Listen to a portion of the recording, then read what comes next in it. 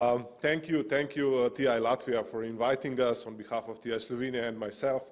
So, um, as said, I am uh, actually not the project manager, I'm the legal officer. I was interim project manager for a while, so okay. Uh, uh, just a short introduction of our uh, office. We were founded, uh, well, in 2009. We were in our 10th anniversary year. Basically, when we became a fully accredited uh, member of TI in 2012. And uh, the one thing I would like to point out that we established in 2014 the ALAC, so Advocacy and Legal Advice Center, and I'm just stressing this because we actually included uh, this way of reporting suspicions of irregularities in public interest also in our IP model. So uh, we focus on transparency, integrity, and anti-corruption efforts. Uh, so I would just like to briefly give you some Slovenian country context. So you know our population is about 2 million, which is similar to Latvia. Uh, our GDP nominal is 50 billion, and we spent about 10% of that uh, in public procurement. However, the public trust in this is very low. According to all Eurobarometers, it's always uh, really bad, and there were many past cases in the period of transition uh, especially before the adaptation of euro, that uh, were uh, lots of projects were completely overspent.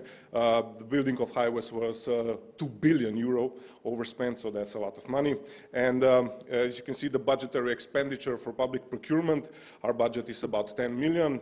52% uh, went for in 2017, so that is a quite a big proportion. And another aspect of our public procurement system is the single bidding, which is among the highest ones in Europe. So you see here 39% compared to EU average. Uh, that is a problem.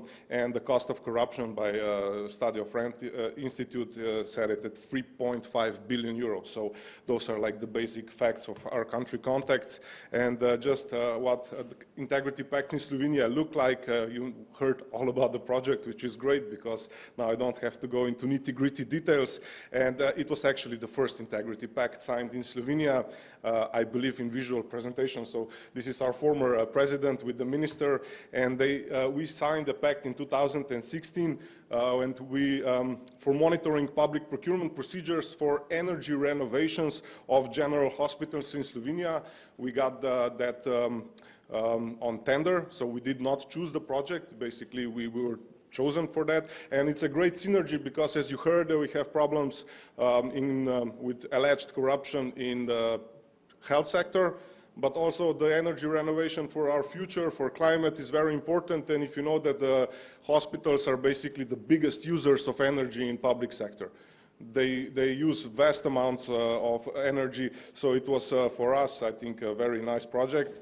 And uh, our pact basically focuses on two things. One is to avoid all corruption, unethical behavior, and the other one is to provide us with all the information that we need to monitor the project uh, so we have a 14 member and we uh, hired three external experts once we knew what field we were operating in. One is uh, an expert for energy renovations from University of Ljubljana, one is construction supervisor, and one is a lawyer who she focuses solely on public procurement, really good expert, one of the top. So then we um, had to review the documentation. It was, uh, as Liene said, about 5,000 pages. You will see one photo um, confirming this. And of course, uh, field monitoring is a very important aspect. Um, and also uh, on-site coordination meetings with stakeholders where we get information and also citizen engagement. So uh, as you can see here, this was at the end of the project. All of these documentations is uh, pertaining to the project itself, and basically we reviewed it all with our experts. Um, so, uh, and another aspect is, well, now actually it's actually over 70 recommendations that we made to CA. Some are key, and uh, mostly they are pertaining to increasing the level of competition uh, in the public procurements. We made two case studies. Uh, this one is about single bidding offers, and it's on a case of radars, of speed uh, radars uh, in Slovenia.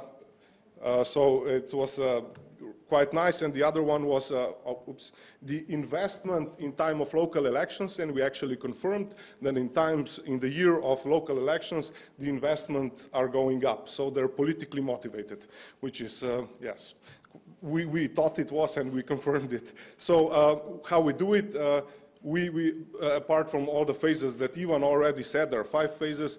Uh, the one that we think is actually really important is also post-implementation after the works will be done to analyze the data on energy to see how much energy was actually saved and has the aim and the purpose of the public procurement as was specified in needs assessment was actually reached. So uh, we also uh, suggested to the CA to make a user organization, the hospital, to train all their staff so they will know how to monitor this this was uh, accepted recommendations, and we also inform the public on every phase of the public procurement through reports where we uh, basically we tell them what the risks are in this phase, how it was uh, executed, and uh, generally about procurement, so the public can get some sort of like less technical, more pop version to, to bring uh, public procurement, which is a very technical area, closer to the public. So we're uh, making these reports and, of course, events.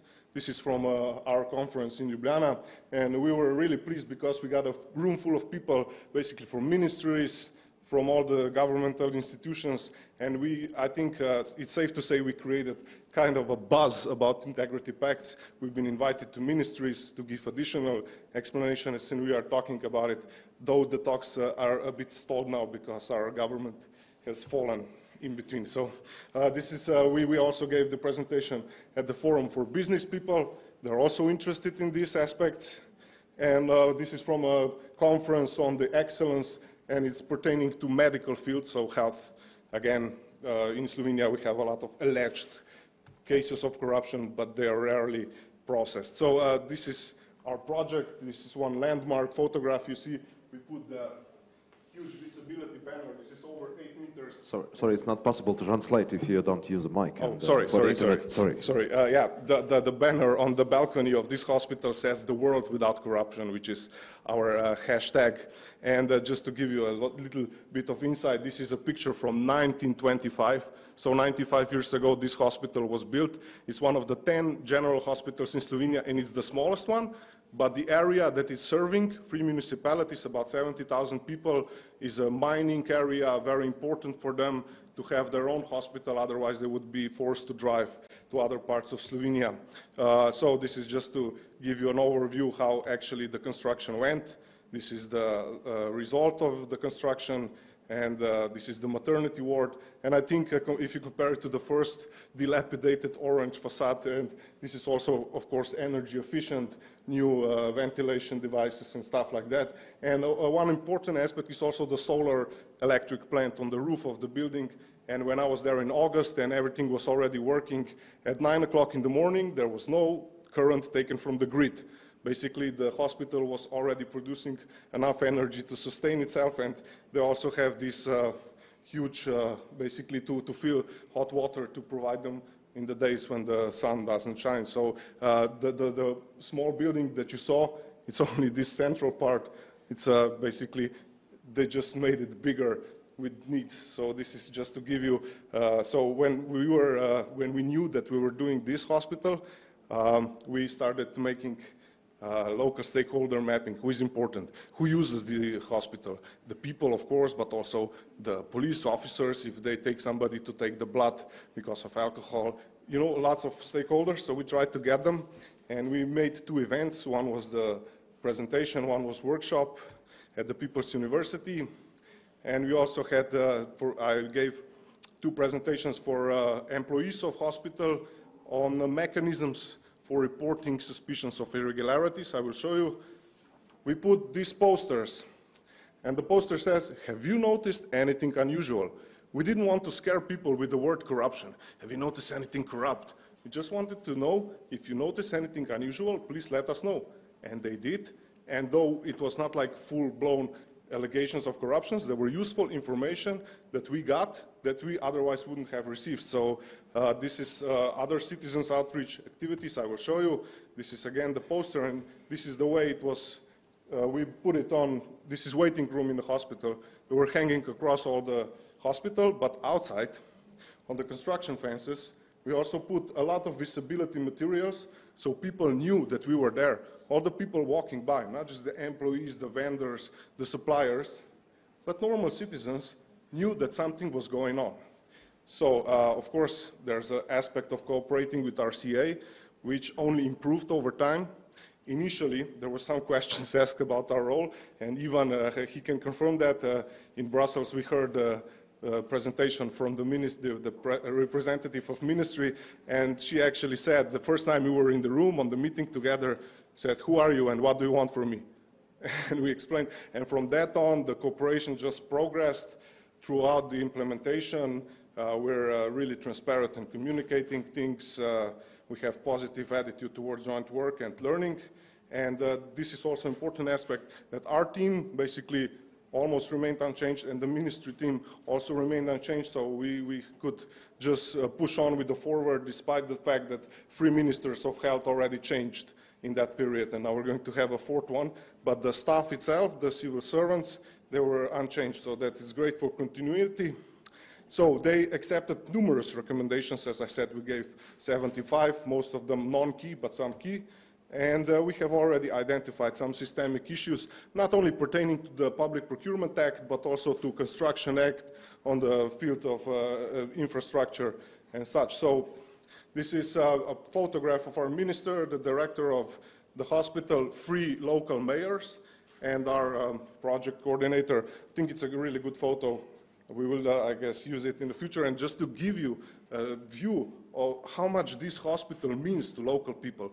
You know, all of these people came when the grand opening was, and basically you had these singing choirs of children playing instruments. So it was not like some sort of everyday occurrence. It was a big deal for these people. So what's next?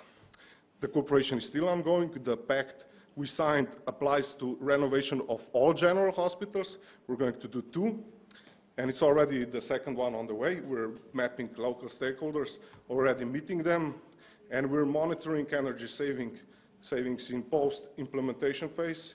And of course, we're advocating the use of Integrity Pact in the future.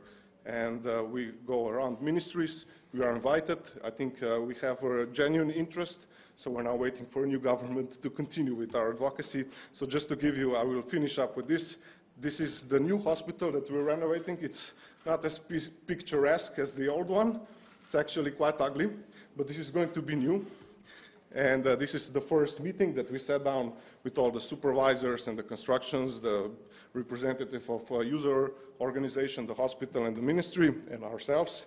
This is already the construction board it's already here with all the data. And uh, this is the last photo. So I was there uh, two days ago before I came here, and the bidder signed the pact. So this is great because we got the bidders from both procurement processes to sign the pact. So it's now a really three-party contract. And this uh, orange fence just tells us this is opportunity for us to put on more visibility materials so people in Novo Mesto will know that something is happening. We will also provide them with our internal mechanism uh, for reporting irregularities. And basically, we're just going to do, do it again and get even more experience and we'll learn more lessons. So, thank you. Thank you, Vasja.